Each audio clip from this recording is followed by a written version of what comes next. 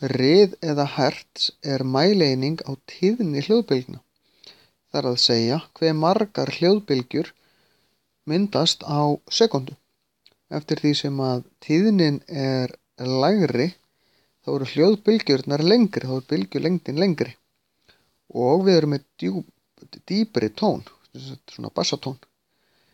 Ef að tíðnin er há þá eru bylgjurnar stuttar, komast þeir svona margar fyrir á einni sekundu og við erum með háan tón, skæran, eins og í sópransöngkonu.